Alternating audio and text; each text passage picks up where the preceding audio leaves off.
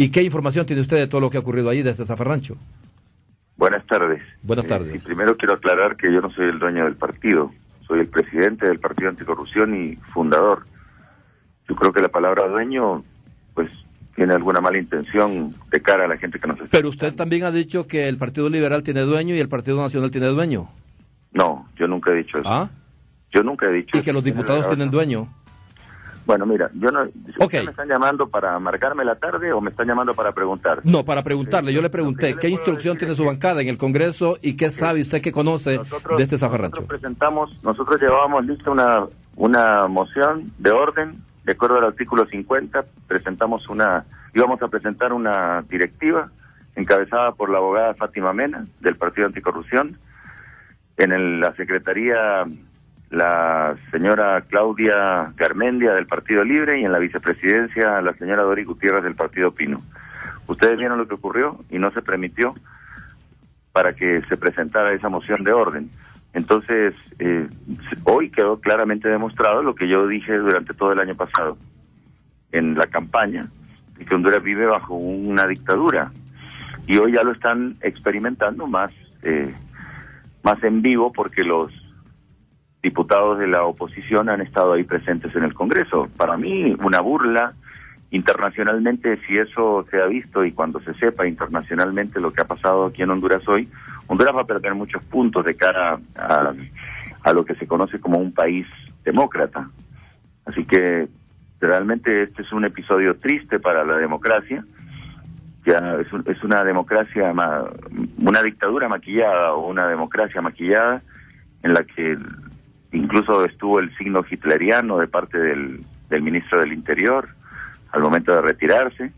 La posición de nuestro partido no fue de zafarrancho, nuestro partido no hizo ninguna ningún zafarrancho, simplemente nuestros diputados le dieron la espalda a lo que estaba sucediendo, porque es la forma como tenemos nosotros de reclamar en forma pacífica. Y lamento enormemente que hoy haya firmado su desaparición del concierto político el Partido Liberal, porque prácticamente hoy el Partido Liberal dijo, señores, hasta aquí llegamos y no existirá más la participación del Partido Liberal, porque ya está claro que existe aquí la extrema derecha, que son el Partido Nacional y Liberal, la extrema izquierda constituida por el Partido Libre, y el centro, que agrupa a la mayor parte de los votantes, que se llama Partido Anticorrupción. A pesar de lo que ha ocurrido y que Libre se exhibió en la Cámara Legislativa, ¿usted continuará con esa alianza con Libre? Yo no tengo alianza con Libre, señor. Y lo aclaro y por favor no sean, no, no estén metiendo en la cabeza de la gente lo que están metiendo ustedes. Eso dicen los mismos cachurecos y los mismos liberales y los analistas políticos, que ustedes tienen una alianza. Mire, Y ¿quiénes este es el momento para que usted diga sí o no. Los nombres de los analistas políticos. Raúl ¿quiénes son Pineda, por ejemplo, Juan. Ramón Martínez. Juan Ramón Martínez, señor, es un señor pagado por la derecha. Tiene que escribir eso y aparte tiene que defender a su amo, Rodrigo Bonarévalo. Esos son medios tendenciosos que no dicen nunca la verdad. Pero se ha visto a PAC, se ha visto a usted firmando documentos con Manuel Zelaya. de comprar. Sí, usted se ha visto en reuniones, eh, incluso usted tiene la capacidad de convocar a Manuel Zelaya libre cuando usted quiere. Yo puedo convocar a los diferentes partidos políticos, a Manuel Zelaya, puedo, puedo llamar a Juan Orlando Hernández, y hemos estado en conversaciones durante todos estos días, y puedo llamar a Mauricio Villera, aunque él no me contesta la llamada, pero los otros sí. Como líder que soy de mi partido, que aglutina a la mayor parte de la población que quiere el bien de Honduras. Pero a mí no me venga con lo que opina Juan Ramón Martínez, o lo que dice Rodrigo Bonareva, o lo que dicen los medios que tienen claramente... Pero yo le pregunto, Salvador, ¿va a seguir usted en esa mística que ha mostrado junto a Libre? Porque van a seguir en esa, en esa por lo menos, en esa armonía que ustedes muestran.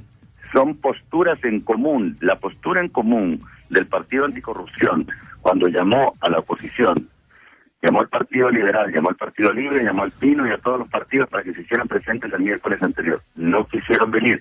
La postura en común era derogar el paquetazo. No quisieron. Y la otra postura en común era integrar una junta directiva que fuera democrática e integrada por todos los partidos. Desafortunadamente, esas dos posturas en común fueron interpretadas por los medios tendenciosos como una alianza que no existe. Yo no tengo ningún acercamiento de, de ideología con los de Libre. Y le digo más, el día que nos reunimos con la gente de Libre, muchísimos diputados del Partido Libre dijeron, nosotros estamos mucho más cercanos al PAC que a la ideología de izquierda que tiene libre. O sea que el país quiere el bien, si este no es un país de gente que ande queriendo hacer zafarranchos, lo único que la gente quiere es que haya democracia y desafortunadamente ya no existe la democracia en Honduras. Solo una última pregunta, don Salvador. ¿Está de acuerdo con lo que ocurrió hoy en el Congreso, sí o no? Yo no estoy de acuerdo con lo que ocurrió en cuanto al, a eso, pero primero no estoy de acuerdo con la forma como condujo. Con el, procedimiento, de acuerdo. Y ni tampoco con la actitud, ni la conducta, ni tampoco con la actitud y la conducta de algunos diputados. No, si ellos hicieron, como ustedes están diciendo, eh, rompieron cosas que no me consta porque no fui invitado. No, pero ellos lo está viendo, hombre. ¿Ah? No puede desconocer esto un hombre que informado como es usted y es presidente. No, yo estuve viendo la televisión y no vi cosas que rompieron. No, vio, no vio que se llevaron la campana, que estuvieron el micrófono, que estuvieron otras otras pertenencias del Congreso, que al final es de nosotros, el pueblo. El equipo de votación. Bueno, pero lo importante es saber cuál es la posición de Narrala. ¿Está de acuerdo o no? Ya, ya dijo que no. Mire, yo no estoy de acuerdo con los destrozos ni con el daño a la propiedad pública, pero sí estoy de acuerdo en que hoy el señor Áfrico, en representación de la dictadura, tendría que haberle ofrecido la palabra a la oposición para que simplemente se postulara una directiva que era integrada por tres mujeres. O sea que esto fue también violencia contra las mujeres. Salvador, ahora le pregunto, ¿usted tenía, había logrado consenso? ¿Por qué, no, ¿Por qué me atropella y no me deja? No, no, no, no, ya va con eso de atropello. Solo quiero que concluyamos. Usted que trabaja en televisión sabe que el tiempo en televisión es bastante, eh, eh, es decir, que hay que aprovecharlo al máximo. Le consulto, ¿habían logrado consenso usted entre los diputados que conforman el Congreso Nacional para lograr esta junta directiva provisional de estas tres mujeres? Íbamos a perder. Íbamos sabemos que íbamos a perder, pero por lo menos hubiera quedado una constancia de que en Honduras existe la democracia.